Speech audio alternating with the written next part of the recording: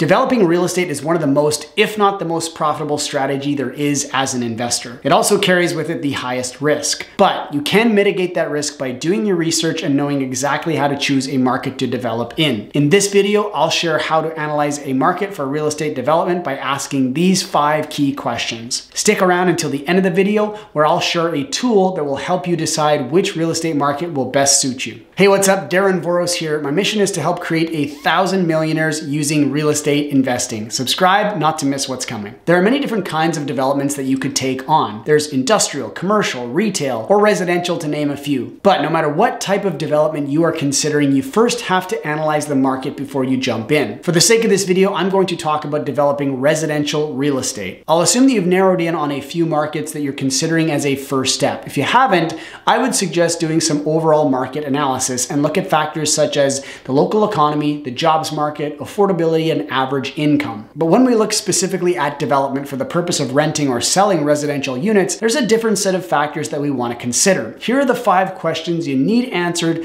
before deciding if you want to develop in a market. Question number one, is there a need? It's important that you look at the economics of a market first. This can be broken down into two simple categories, supply and demand. Is there demand in the area and is there adequate supply to fill that demand? If there's a lack of supply and a high demand, then the market will be poised for growth. Some factors that you want to consider when looking at the supply side or the vacancy rate in that municipality and how many new homes or units are being brought to the market each year. The months of inventory or saturation rate will tell you how long the property sits on the market before it's scooped up. All of these factors will tell you if there is a supply or demand imbalance. Question number two, is the municipality development friendly? You would think that all municipalities would encourage new development, seen as how we're in the middle of a housing crisis here in North America, but that's definitely not the case. Some municipalities will have councillors or mayors that have been elected by the constituents because they're in opposition to new developments. NIMBYism, as it's called, is a real thing. And for those who aren't familiar with what NIMBYism stands for, it means not in my backyard. To find out if an area is friendly to developers, look at these factors. What are the development charges in that municipality? And for those of you not familiar with what development charges are,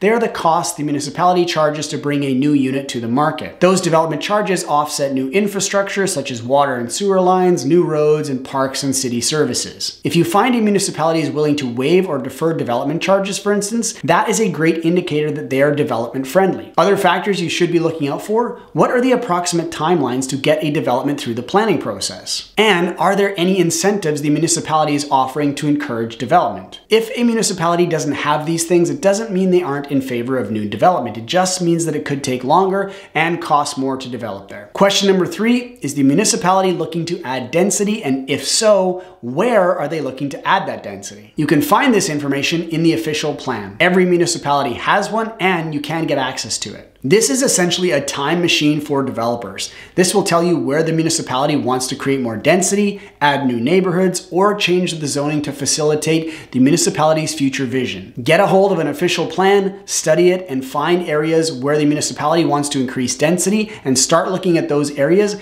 as potential spots to acquire real estate. A word of caution, just because there are plans to change zoning or increase density doesn't mean that this is a sure thing. Do your due diligence before making any purchases based on the official plan.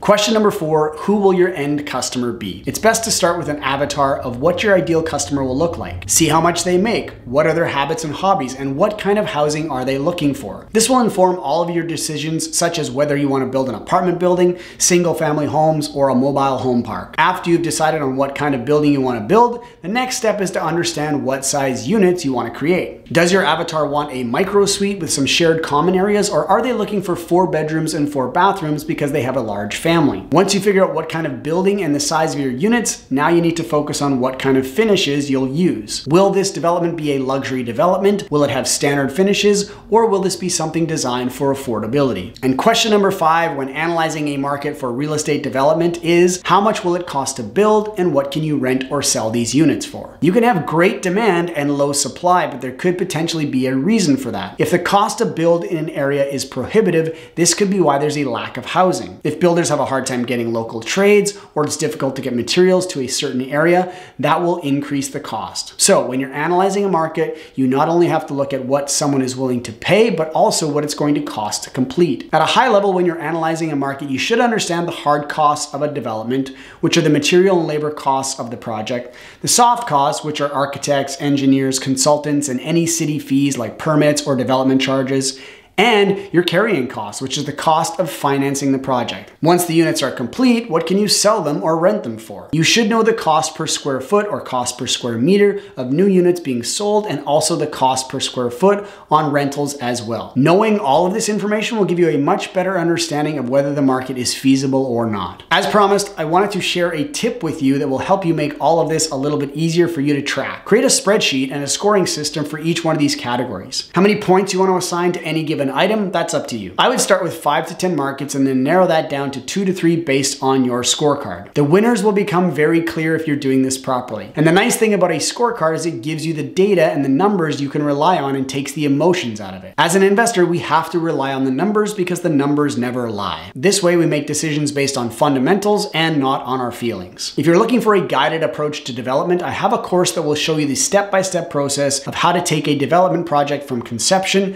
to completion. Check out all the information on my website at darrenvoros.com. If you've got questions around how to analyze a market for real estate development or anything else real estate investing related, leave those in the comments section below. You can also follow me on Facebook and Instagram where I post regularly. Thanks for watching and I'll see you on Tuesday.